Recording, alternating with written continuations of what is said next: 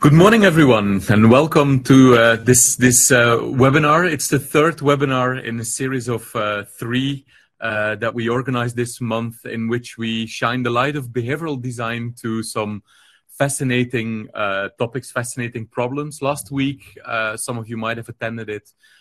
we did a webinar on um, on sales and how to become better at selling through the lens of uh, behavioral design. Yesterday, we had an, innov- an, an, innovation webinar in which we explored how uh, psychology could be treated as a uh, as a very, I would say, untapped and valuable source of innovation. Um, and today we have our third and, and final uh, uh, session in webinar month, which is all about you know, looking at the, uh, the, the challenge and the fascinating problem of team behavior and how we can use behavioral design thinking and behavioral science to, you know, to shape uh, team behavior in a positive way. So let me introduce myself briefly. My name is Tom de Bruyne. I am one of the co-founders of uh, SUE. Um, we're an Amsterdam-based behavioral design company. Basically, SUE is a, um, a team of uh, behavioral design experts um, we do uh, both uh, training, capacity development, as well as uh, consultancy projects. Um, and we use the behavioral design method to help our clients to improve their their marketing, their offers, their product, their services, um, uh, in order to um, uh, you know to to to to to shape customer behavior. We work for governments to work on uh, citizen behavior. Uh, uh, we work on for NGOs on uh, on giving behavior, and more and more we work for companies to figure out how to to shape employee behavior. So um, and and of course you can you can always uh, find everything about about SUE on the um, on the uh, suebehavioraldesign.com website. Uh, never uh, never um, um hesitate to subscribe to the newsletter. I can highly recommend it. Um, we have a weekly newsletter on on basically everything uh, that is happening in the world and that has to do with influence. Uh, we use our newsletter to to try to shine a uh, a um, a behavioral design perspective on uh, on that reality. Um, we also have a very good blog, I must say. Um, we uh, we don't post regularly, but we have a great archive uh, built over the years of uh, some very, I think, inspiring content on uh, behavioral design thinking. Um, so what, what is behavioral design? Really, really very short. I would say behavioral design, the best summary is the combination of design thinking as a process uh, to turn uh, uh, insight into ideas, ideas into prototypes, and prototypes into, I would say, learn learning.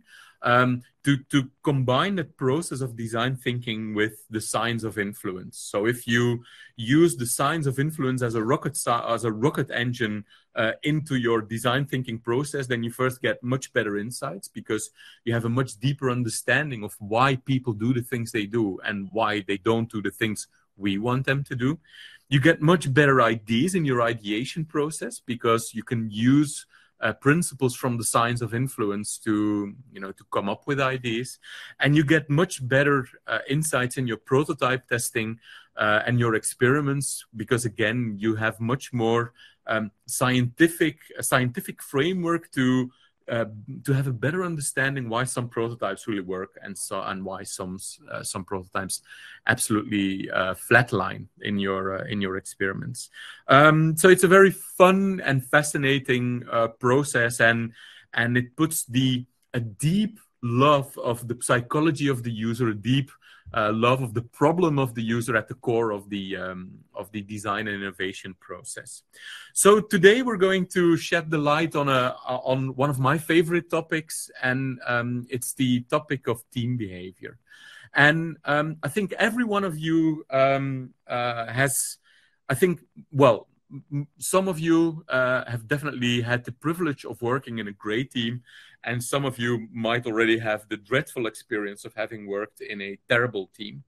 And you can all kind of sense um, what it means to be part of a great team or what it means to be part of a team that that sucks big time and i think it all has to do with um, with the culture and um, uh, you, you, know uh, company cultures and team cultures is a very very abstract concept.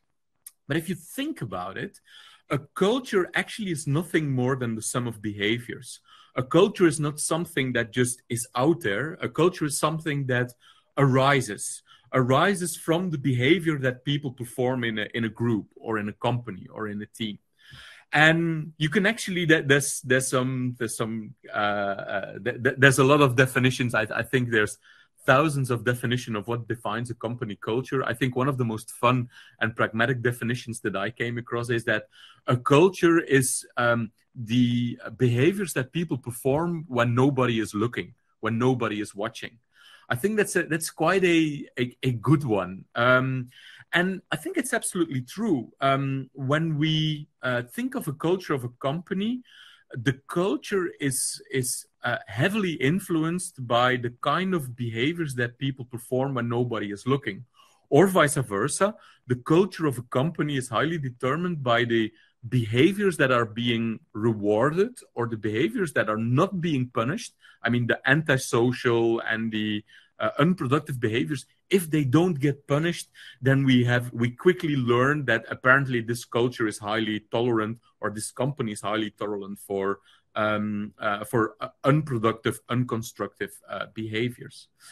So i think this is a much more pragmatic definition of uh, what we know what makes a company exceptional. It's a, company that is exceptional and, and uh, exceptional and successful is a company that promotes and um, and suppresses certain behaviors, and that the be, that when those behaviors turn into habits, then these habits are exactly what determines a culture. So, as a behavioral uh, designer, as a behavioral scientist, I'm deeply interested in what are these behaviors? And what are the behaviors that successful teams and successful companies perform? Um, um, so in this in this webinar um, I, I, want to explore these behaviors. And i think it's definitely interesting to start with you know the behaviors of uh, deeply problematic companies. Because we can learn a lot by what are the behaviors that that it, once teams and once companies perform these behaviors um, uh, uh, th- that they actually lead to dramatic outcomes and i think um, uh, to make this point I, I, I want to explore this idea that most problems in organizations really can be attributed to a bad understanding of human decision making so those of you who were in my uh, webinar yesterday know that there's basically always that behavioral designers always um, take one step back. We always want to uh, look first at um, uh, how does decision making work? And do we have a good understanding of how our brain actually makes decisions? Because if you understand how humans make decisions uh, then you can quickly realize why some interventions to influence that behavior completely don't match with how our brain actually makes decisions. And definitely in the world of organizations, in the world of companies, in the world of teams, um, there's there's a lot of bad understanding of how our brain actually works, and this bad understanding leads to very very dramatic outcomes. And I would say that the that the number one um, the number one um, mistake that most companies make when it comes to designing, uh, when it comes to shaping team behavior, is that most companies think of people as rational humans. And so they set up all kinds of rational management systems um, in order to get the most efficiency out of these, uh, these hyper rational humans. So if you pay them more money, if you manage them more carefully, etc., etc., you will get better outcomes. And as behavioral scientists, we know that this is a recipe for disaster because we're not dealing with humans. We're dealing with uh, we're not dealing with um, uh, rational people. We're dealing with different people. And Daniel Kahneman, the godfather of behavioral science, has a beautiful, I would say, metaphor for it. He says there's two kinds of people. Well, there's another scientist who once said there's two kinds of people: those who divide the world in two kinds of people, and those who don't that's another one. I think that was oh shit, I forgot his name. Ken Ken Robinson. Um, he is a, a, brilliant TED talk on education. But Kahneman has another, I would say, division. He said there's two kind of people: there's econs and there's humans. Now, econs are uh, people that only exist in uh, classic economic theory and in uh, manuals on marketing. Uh, these are the people that are smart, rational. They make decisions out of self-interest. They make cost-benefit analysis. They uh, are very economic. They always go for the highest value for the lowest amount of, of money, and they think things through. Well, Kahneman says uh, these people exist in the heads of managers and in the heads of classic economic theorists uh, and macroeconomists, but they don't exist in reality. What exists in reality are, are what he calls humans, and humans are incredibly biased, incredibly impulsive. They are very irrational in their decision making we are highly social animals. Our desire to be loved and our desire to be respected is much stronger than our desire to, you know, make the uh, the most rational and most utilitarian decision. We are incredibly impulsive. We we much rather make decisions impulsively uh, without having to think hard about it. Because think because thinking hard uh, usually provides us with a lot of stress and we make decisions based on shortcuts, something that we explored yesterday extensively. So if you design an organization with econs in mind, what you do is um, you build up uh, management systems, whether you do it intentionally or out of stupidity, uh, but you design management system in which you kind of think that there's a direct link between rewards and output. The more excessive the bonus, the harder people will run very stupid idea, doesn't work at all in reality. We're going to explore that in a little bit. Um, when you design a company for econ, that basically what you think about management, your definition of management is nothing more than you know than, than optimizing the machine for efficiency. Um, when you're um, uh, designing for econs, then you only think in hierarchy because the, the more hierarchy you introduce in the company, uh, the better it will scale. Uh, and and of course, you only that there's there's so much management literature bullshit on this one. You have you have to find the A-listers, and if you pay them well, uh, uh, magic will follow. First of all, what is an A-lister? And second of all, an A-lister is an A-lister in a in a specific context and can be a uh, can be a C person in a different context. It really all depends on the context, and and the context determines whether someone will thrive or not.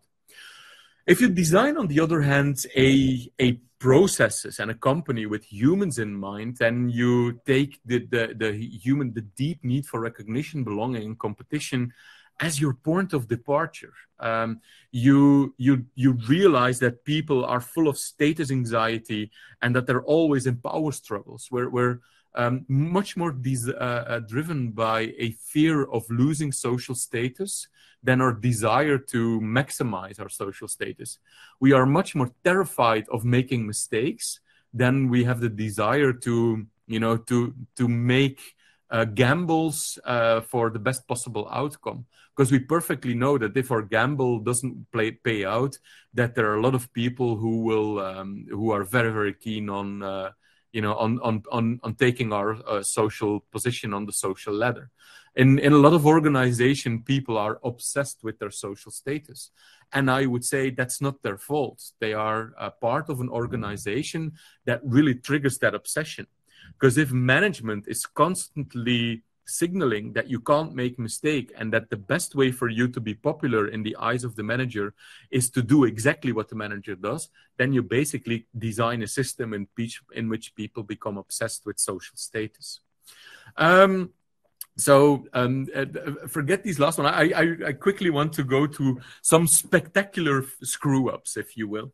So I, some of you who are old enough probably remember Enron. Uh, Enron was like the the big a gigantic um, a bankruptcy before the 2008 financial crisis. Um, and the story of Enron was that it was the most successful company in America. It uh, was a energy company in the Midwest, but year after year, they became the poster child of um, uh, of you know uh, uh capitalism.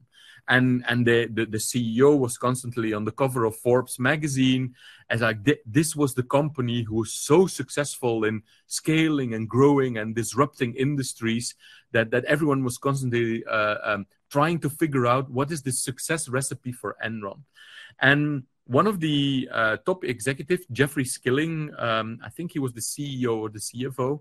Um, he uh, the, he created this management system called Rank and Yank, and it was highly praised, and everyone was trying to copy it. And what was the idea behind uh, Rank and Yank?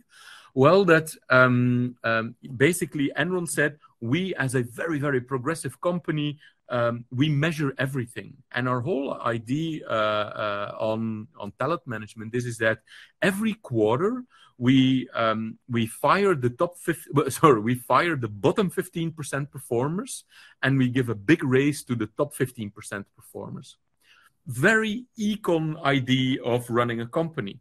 You, uh, it's like if you fire the weakest links and you reward the highest links, then then by some invisible hand everyone will become better that's when you think when your company consists of rational people. But of course, if you're dealing with humans, the first thing people think of, oh, is this, if this is the game, let's play the game. So everyone who was afraid of becoming uh, uh, the uh, of ending up in the bottom 15% performers were cooking the numbers because they wanted to avoid to become uh, uh, a, bottom 15 uh, person who would get yanked. Um, uh, and the top 50 people who were think that, who thought they were doing quite well, they wanted to be part of the top 15 performers. So they were also cooking the numbers because you want to be part of that.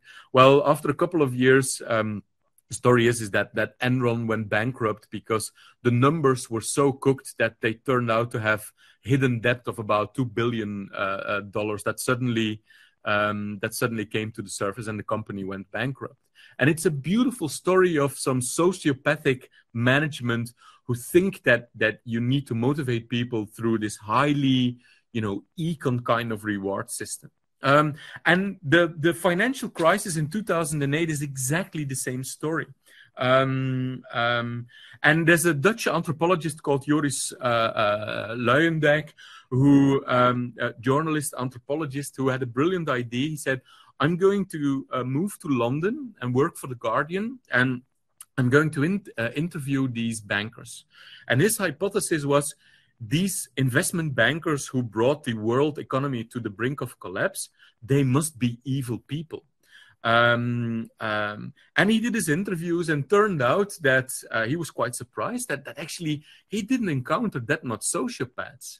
Um, time and again, when he interviewed those bankers, they uh, they were actually people with uh, in their private life with uh, nice people, high ethical standards. Um, but time and again, they told him that they first of all were very very proud of the fact that they were allowed to play in like the Champions League of banking. Investment being investment banker in London is like the Champions League. There's there's a lot of social status involved if you are allowed to play in that um, in that league. And then second uh, thing is is that they said, well, the system is designed in such a way that if I make good money on the stock exchange, I will get an excessive bonus. But if I fail with my investment, then I don't get any punishment because uh, it's it's not my money; it's my client's money. And if the client's money, like pension funds, etc., can't pay the bill anymore, then society will pick up the bill. So basically, the whole system is designed to promote excessive gambling behavior, and that's precisely what these people did. We can think of their behavior as irrational, but it was it was perfectly predictable irrational behavior. And there's actually an economist called Joe Stiglitz, a famous economist, who already said it's not going to be a matter of when the economy will collapse, when the financial system will collapse, uh, if the financial system will collapse, it will be a matter of when, because he perfectly understood that if you design a system that really triggers ga- excessive gambling gambling behavior, the system eventually will collapse. It, even worse, they they actually inflated stock prices because they perfectly knew that if you inflate the stock price, you will get more bonus. Luckily, they kind of um, uh, now um, um, intervened in that bonus systems, but but it's still still very very fragile.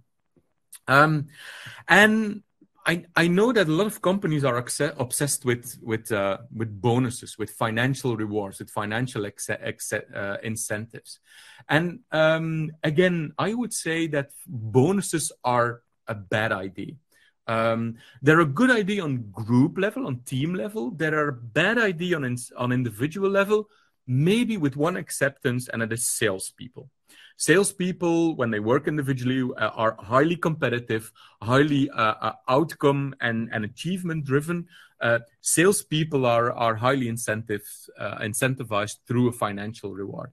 But in all other uh, contexts, context, I wouldn't do it, except maybe for a, a, bonus related to like a group outcome or a team outcome. And there's a couple of fascinating psychological reasons why an in- individual incentive is a bad idea. Um, so first of all, Dan Ariely did some great research on that, and, and he discovered that there's a negative correlation between the size and the bonus and the quality of the work. In other words, the higher the incentive, the higher the bonus, the more you will do very stupid things in order to achieve that bonus. Because your number one driver for your behavior will be that bonus and not the uh, successful outcome of the company. So the higher the bonus, the higher the stupidity of behaviors that people will do to achieve that bonus. Second one is, is that the moment you in, in introduce a bonus for behavior, for work that's highly intrinsic motivating, you will kill the intrinsic motivation. In other words, we are deeply motivated by the content of our work, by uh, the outcome of, of, of the work, by collaborating with each other. That provides us with a lot of psychological satisfaction. But the moment you replace that psychological satisfaction, that intrinsic motivation, with in extrinsic reward, then the behavior loses all its psychological rewarding value because you suddenly kind of only do it because of the reward and it sucks all of the all the joy out of your work. Because if you don't get the reward you will be very very frustrated. Um, third component is the what i call the ronaldo problem. Um, um, Ronaldo, as some of you know, um, and as, and we can argue about that, but Ronaldo is the second best footballer in the world. There's a big debate on that. I would put him on the second best uh, spot in the world next to Messi. Um, the problem with Ronaldo was that he, by now, the the man uh, probably already made more than a billion uh, euros in his career. Um, but he left Real Madrid because he was deeply frustrated with the fact that Messi, in my view, the number one best player of all times. Messi made more money than he did. And he couldn't bear the idea that Messi was making 250 million euros a year and he was only making uh, 170 million euros. In other words, the amount of the bonus completely didn't matter. It didn't matter at all because the only thing that people look at is do I make more than the guy I compare myself with? And that's of course the problem with um, with executive bonuses is that they get higher and higher because these ego testicle maniacs of executives uh, don't it, the, the size of the bonus doesn't don't matter. They just want to have a higher bonus than than the guys they encounter at the golf club or at the hockey club because that's all, the only thing that matters. It's social status that that comes from it. And then a last reason why bonus are problematic is, is a, a, a, phenomenon called Goodhart's law. And Goodhart is a social scientist, and he came up with this formula. He said basically that every metric that becomes a KPI, that becomes a target, loses its value as a metric for measurement. I can best illustrate this with the cobra problem. The cobra problem was a problem in, I think uh, it was in, in Mumbai, and in the city of Mumbai had a problem with a cobra plague. And um, uh, so the city came up with a brilliant idea. We're going to reward people to bring in dead cobras. With every cobra they bring in, we're going to incentivize them. Well, what they just did was that uh, people, what that's that's a good econ idea, but humans thought, hey, there's a business model there. So quickly, cobra farms started to pop up, in which they were, you know, um, breeding cobras in order to get a reward. It was a highly rewarding business model. And then the city thought, oh my God, this this incentive was such a bad idea. Let's stop the incentive um, um, we're making the problem worse. What did the cobra farmers do? They released the cobras on the street because there was no business model anymore. So the in the end result was that the cobra plague was even higher than in the beginning of the um, of the reward system. So this is what happens when um, uh, when you design behavior in a very bad way. So what happens when you do it uh, in a good way? What what can the psychology of um, what can the psychology of team behavior uh, and the psychology of influence teach us, teach us about um, you know, uh, uh, uh, great team behavior, of high performance team behavior? Well, um, um, those of you again who were in my session yesterday know that we um, behavioral designers are obsessed with outside in thinking. Um, and uh, the, I, I, would say this is the number one mindset of behavioral design. Um, so, what is inside out thinking is is thinking we have something uh, incredible, whether it's our company, our processes, or our product. And thinking inside out means how can we make this customer or employee fall in love with our company or fall in love with our method? And the problem of the employee or the customer, if you think customer centric, is that they haven't figured out yet how awesome we are. They're, they're a little bit uninformed or a little bit stupid. That's really inside out thinking. Outside in thinking is exactly the opposite. So when you think outside in, you kind of think, what are the deeper needs that people have in their life that they want to see fulfilled through whether it would be a product or whether it would be work? And once you start asking that question, then the question becomes very fascinating. So when you start thinking, when you start asking yourself the question, what are the deeper needs that people want to see fulfilled through work? Um, you you can quickly start to realize why some teams and companies thrive and why some companies um, are toxic why some companies are so um, we, we always use this concept of the job to be done people have jobs to be done in their life and those jobs to be done can be very functional i want to make money but but but the deeper jobs to be done in their life are much more emotional and so we did a big study on that. And at the last slide, I'm, I'm going to share the link that it's on the website. But we learned in our um, in our in our study that people have very deep psychological needs that they need to see fulfilled through work. The number one is recognition. I want to feel recognized. I want to be appreciated. I want to belong to a team. I want to uh, uh, uh, grow and learn uh, in in my job. I want to get into flow. Um, I want challenge and adventure. I want, just like in a game, I want to work on on puzzles that are fun to crack, uh, that are fun to you know to to to solve uh, uh, together with my colleague. I want to contribute to something bigger. I want to have the feeling that there's meaning in my work. These are all very very important jobs to be done. Um, um, and what happens in teams that uh, uh, that provide you know uh, let me put it differently the number one criterion for high performance teams is that they provide that they carefully cater to these needs. When people feel that their need for recognition appreciation and belonging and flow and challenge are being met then they have um, then they are incredibly happy incredibly productive and they become incredibly creative well, it turns out that high performance teams do a really good job. That what differentiates high performance teams, I'm first going to show this slide, do a really good job at catering in this need. So, uh, Google did a very big study a couple of years ago called Project Aristotle.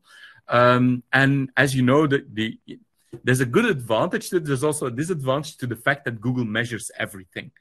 The great thing that Google measures everything is that they are a very data-driven uh, company. They um, they are very much keen on high-quality decision making through data, and so they wanted to figure out what are the defining characteristics of high performance teams? Because if you can crack that code you can then know what you need to do in order to um, um, you know build and scale your company. If you crack the code of high performance team behavior then you can really build and scale uh, your company to the next level so what did Google discover? They tried everything. Should we put friends in a in a team, or uh, a good balance of male and female, or senior and non-senior, or a diverse mix of profiles?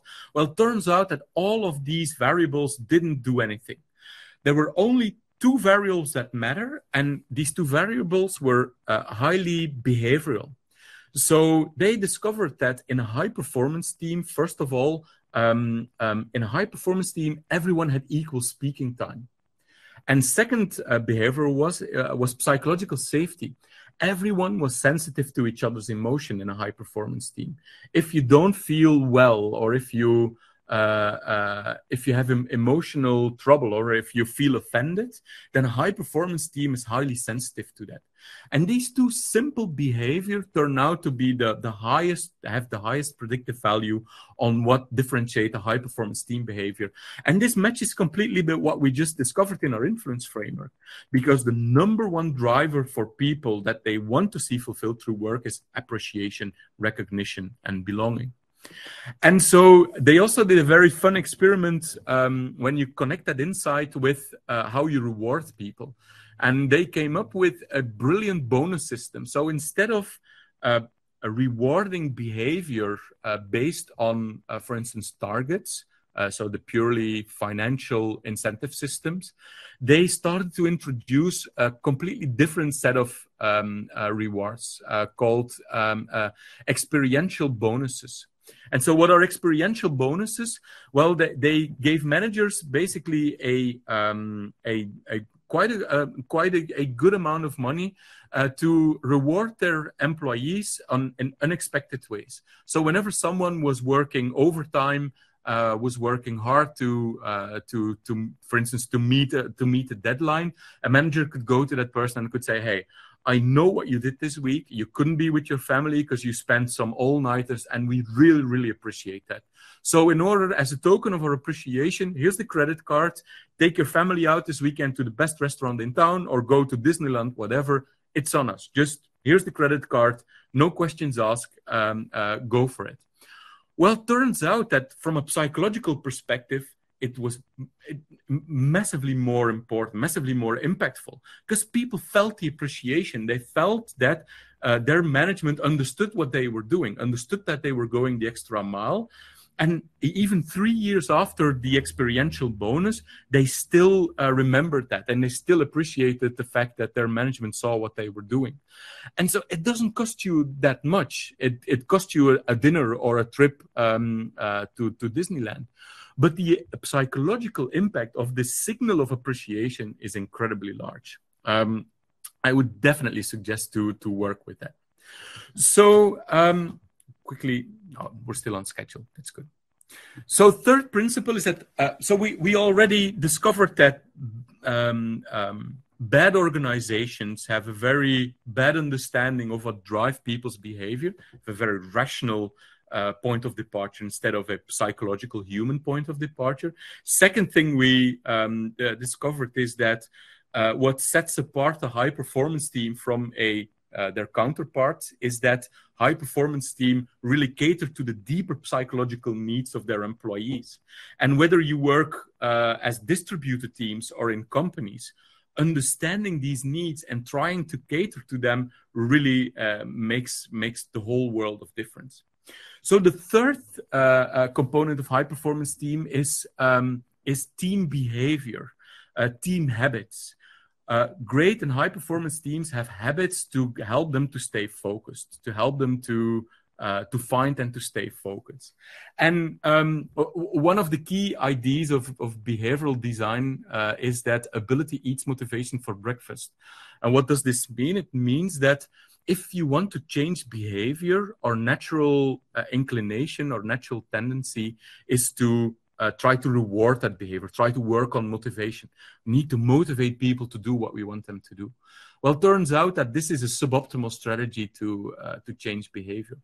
Ability is a far stronger strategy. And what are ability interventions? Ability is all about asking the question: Can I make the desired behavior automatic? Can i trigger the desired behavior? Can i somehow um, uh, yeah can i somehow make that un- that desired behavior automatic or can i make the undesired behavior impossible? That's what you do when you think about these kind of interventions. Now team habits are um, are great at um, at at triggering the kind of behaviors that you want. So um, uh, and the problem of course is is that um, uh, when you try to rely on discipline and motivation to change team behavior, well, the problem is that we're just too distracted. We're tired. We have too many things on our mind. We're exhausted. Um, um, uh, we, we, keep forgetting the things we should be thinking about. Only super athletes thrive on discipline. So Uh, uh, uh, when you want to change organizations or change behavior in an organization, and you rely on explaining what you want them to do, it's a recipe for disaster.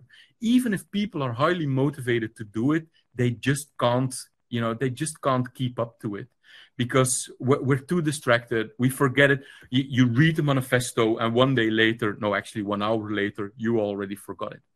So what we need to do is we need to make desired behavior easy. If we want to, for instance, in a different domain, if you want people to eat healthier, well, make it easy for them to cook healthier. Already bring the ingredients together so that they don't need to think uh, anymore about how to cook a good a good meal. Give me the ingredients, give me the recipe, and I will make the great meal. This is Mirte. Um, she was our personal trainer for uh, for six months when my wife and I were getting married we uh, we knew that we needed to be a little bit more in shape. We, uh, absolutely knew that that it was impossible for us to go to the gym. We had a two-year-old, and she kept us awake all night. So we designed an intervention, a behavioral design intervention. We created a forcing function in which we couldn't escape from our desired behavior. And so three times a week at eight o'clock in the morning, she would uh, stand on our doorstep, and we will hate her for every minute that she was there we were kicking and screaming five minutes to eight to get out of bed because we knew that this fucking lady would be there and um, and torturing us. But every time that we went through the process, we were very grateful that we designed that intervention in which we couldn't escape. The fact that she's a very nice person also kind of helped. But every time, every morning, it was a dreadful thing for us to to stick to the habit.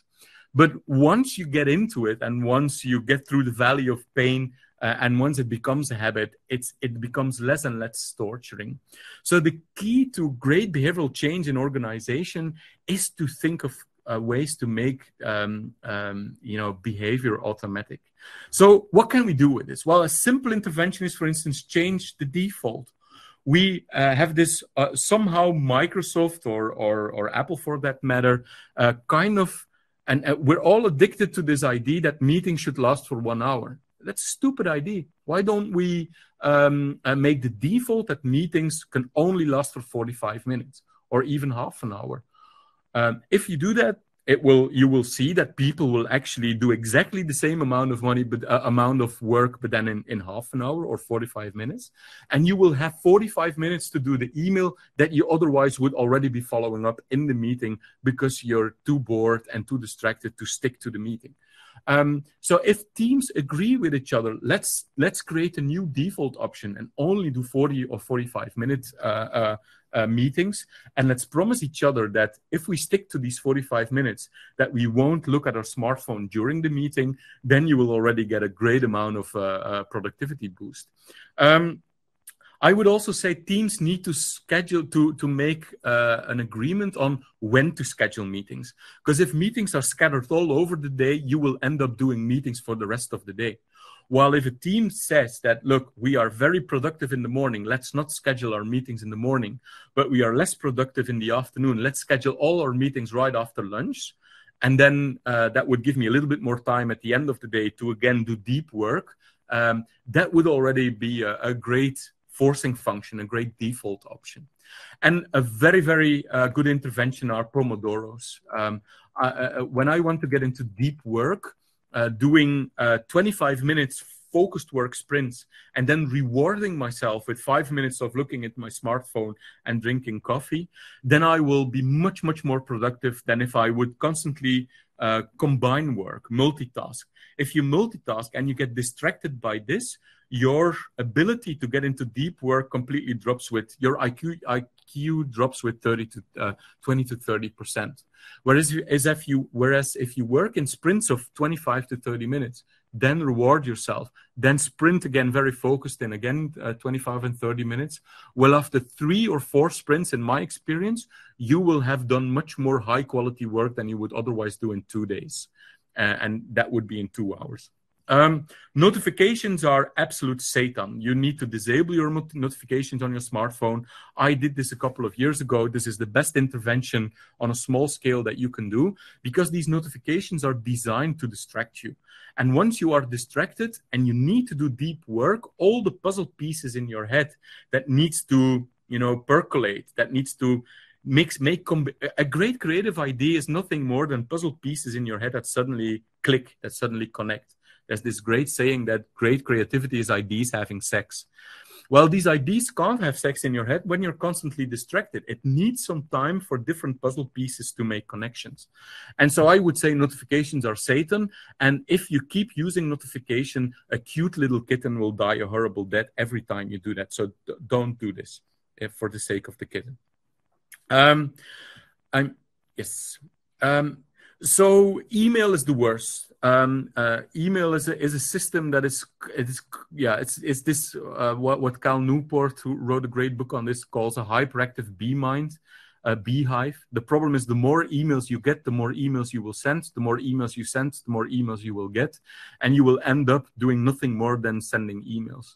So a great way to uh, get rid of emails is to completely change the paradigm. So for instance, we have started working with Trello and I'm very, very excited with it.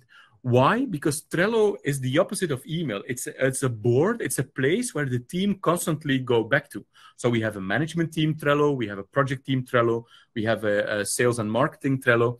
And so whenever I'm working, for instance, in my management team role, I go to the Trello and I see what kind of tasks and what kind of um, um, uh, problems uh, I need to work on. And then once a week, we come together to this Trello and, and discuss new problems or new challenges or new tasks. And by doing that, I can perfectly decide, and everyone in the team can perfectly decide when to work on their particular role. Every uh, entrepreneur that I know that have switched from uh, radically uh, dissing email only for the uh, for the for the very very utmost necessary and switch to systems like Trello uh, have become have become much more productive, much more creative.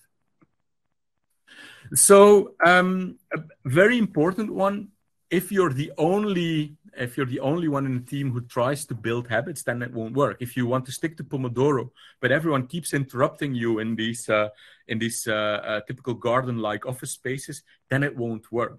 I have seen great teams who have a um, a little lamp on their desk, and whenever they are working in Pomodoro sprints, the lamp is on yellow, so you know you can't disturb them.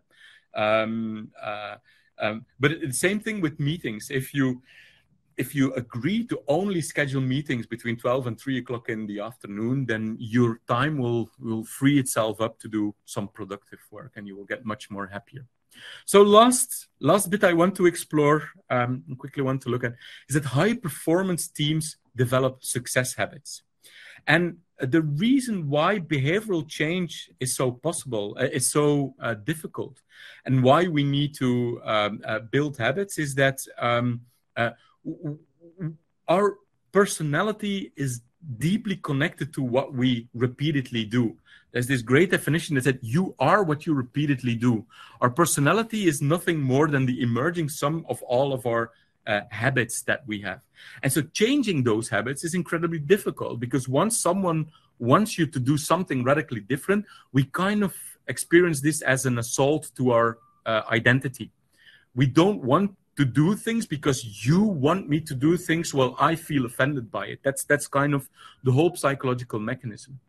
So um, when you apply this um, uh, this thinking about habits um, if you want to change behavior uh, without people feeling too much offended uh, uh by your attempts to change their behavior, one of the best ways to do is to, to think about designing habits. Because, um, because culture emerges from habits. And again, a, a culture and organization is nothing more than the sum of its habits that it promotes, that it promotes and it, and it, it suppresses. So you should ask yourself the question, do we have habit? Do we have a habit to address problems? Because if you don't, then the first time someone will address a problem will be met with hostility. Do we have a habit to celebrate success? Because if you don't, then people will feel very, you know, numb because there's never something to celebrate. Do we have a habit for giving constructive feedback? This is actually the, a very, very important one. Because if you don't have a habit of giving constructive feedback, then you are constantly raising the bar for giving feedback.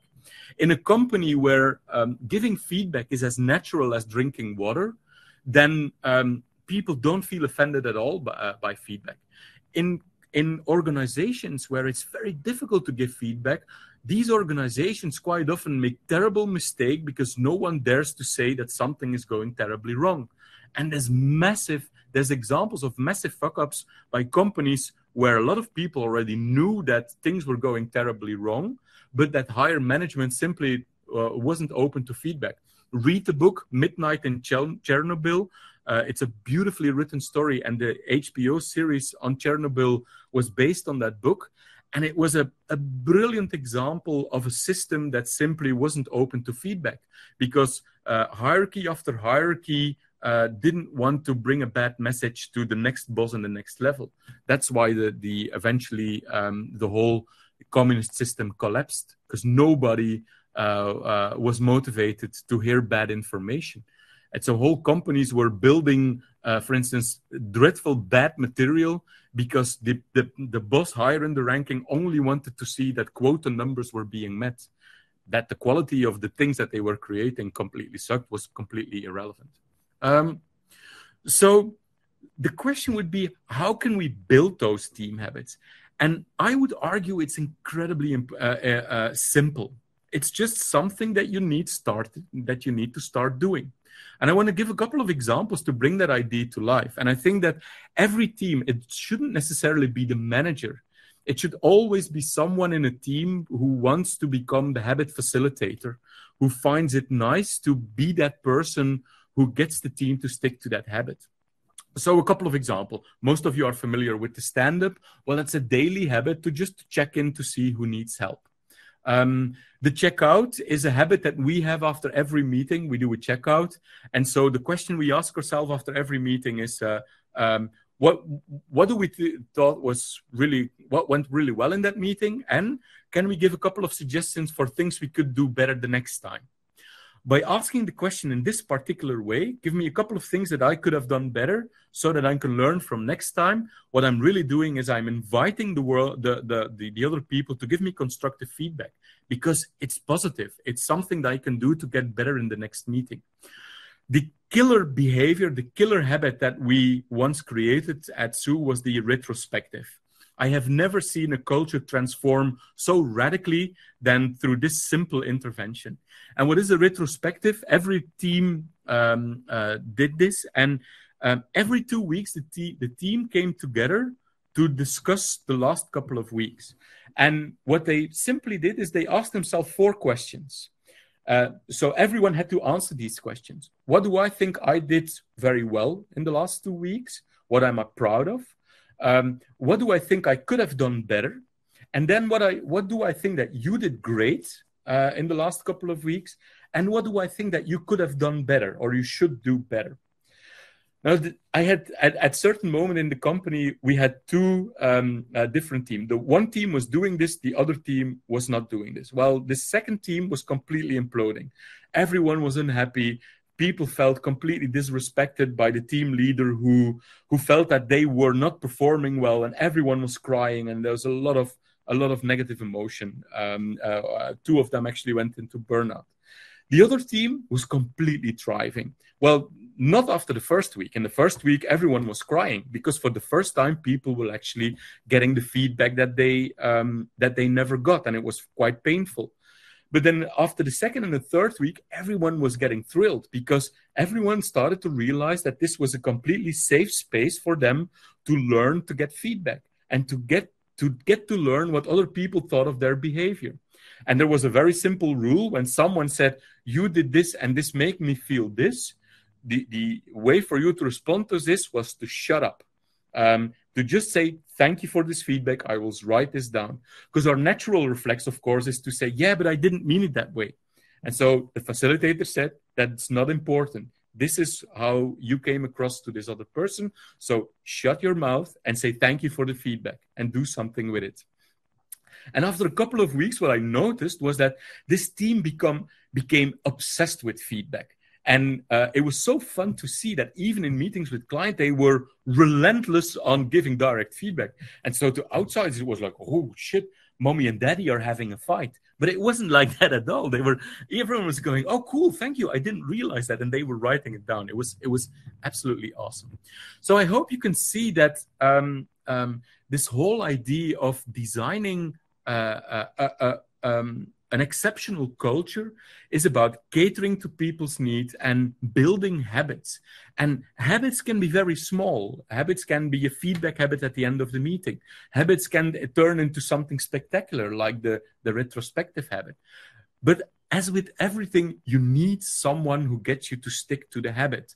Like um, in in in that team, uh, there was one person, and he was not the manager of the team, but he had the authority by the team to be the facilitator of the habit.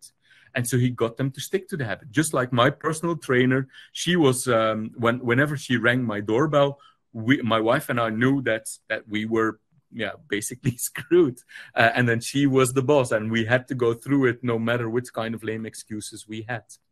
And so um, we we have turned at SUE we have turned this working in habits to to an art form. Like we work in behavioral design sprints. And a behavioral design sprint is like this highly uh, structured habitual process in which we in which the same people in a in um, uh, go through this process of insight ideation prototyping testing. Now the reason why building this highly ritualized highly uh, uh, pro- a structured process why it's so awesome? Well it's for a couple of reasons. Uh, it, it, eliminates eliminates negative group uh, dynamics in a very profound way. First of all a switching cost. If you do first your research and then you create a report and then you have strategy people doing the strategy and then they will create a report. And then the creative people will execute the strategy and then they will create output.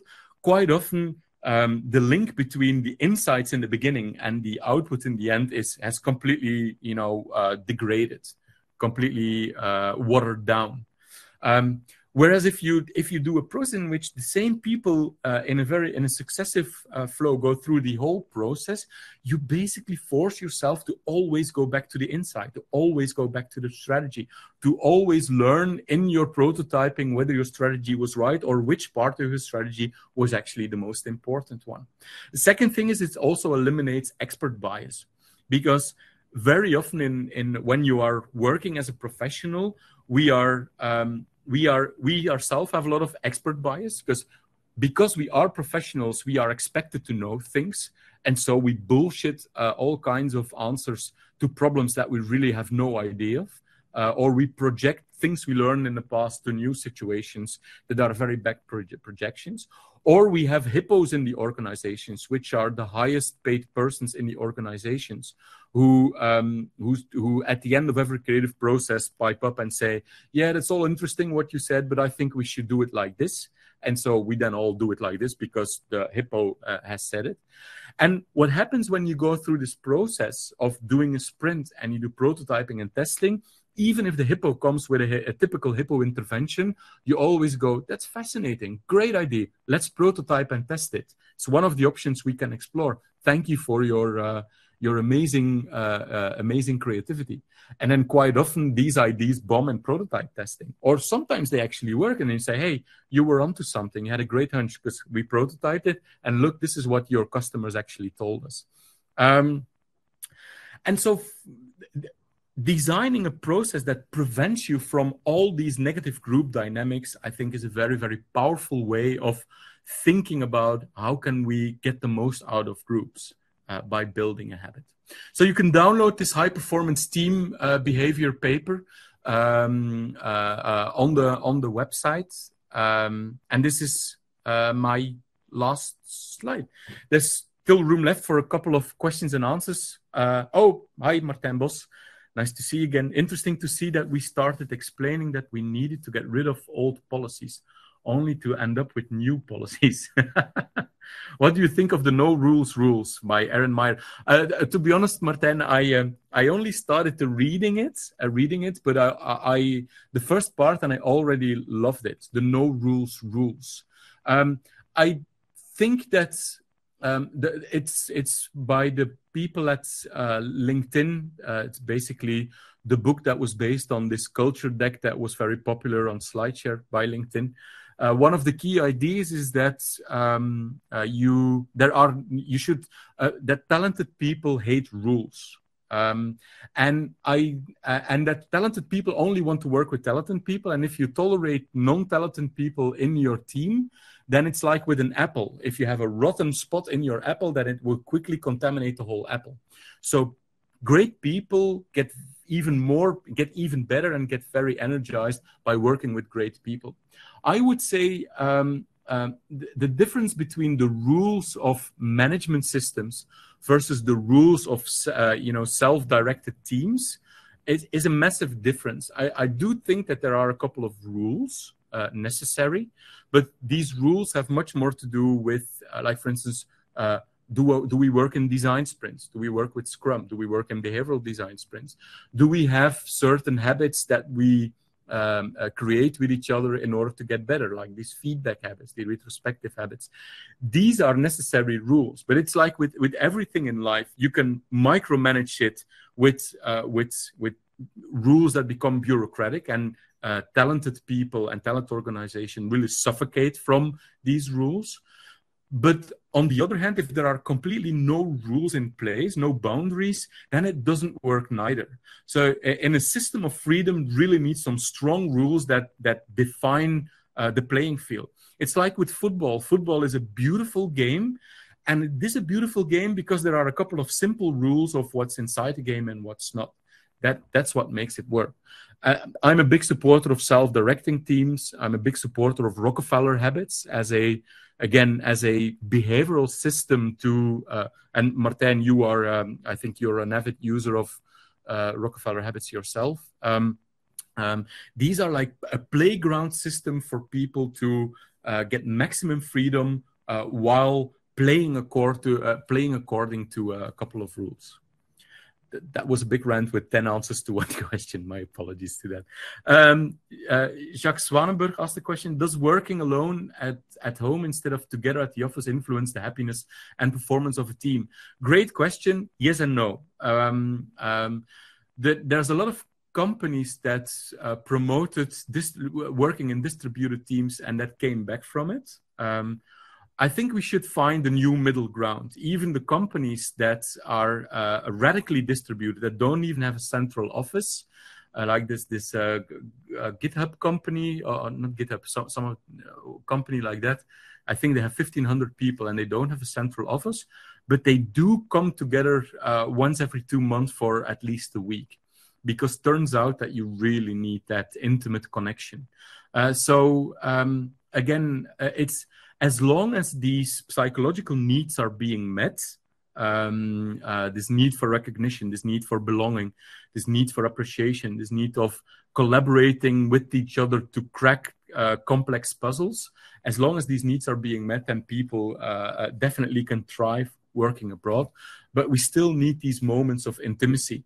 And we need these indirect moments because if we have learned to, uh, you know, to to understand and to read people, we can develop the kind of trust that we need in order to you know to to work together and together in a much more trustworthy way. And we humans are are animals who that need our our system one brain our intuitive brain to meet someone as monkeys. We need to sniff on them if you will in order to be able to trust them. And once we know them and trust them it becomes so much more easy to um, to work um, to work in a distributed way so we're about to run out of time. I'm very grateful for you to be in this um, in this webinar. Um, uh, there's actually quite some of you. So if you're still interested in uh, in behavioral design, uh, attend one of our master classes. Um, uh, we uh, uh, we're we're still organizing behavioral design fundamental course this summer. There's actually one today going on with 16 people full group. Um, uh, we have some uh, vacancies in in uh, in later this year, both Dutch and international and English editions. So wherever you are and you're international, feel free to do the behavioral design fundamental course.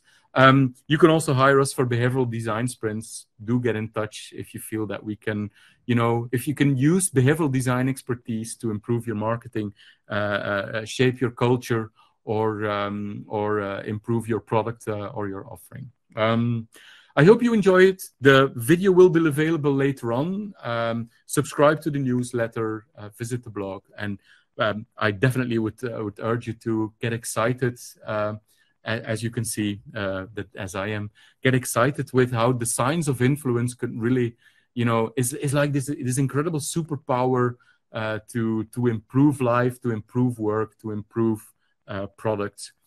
heck, you can improve. You can use it to improve your own relationship.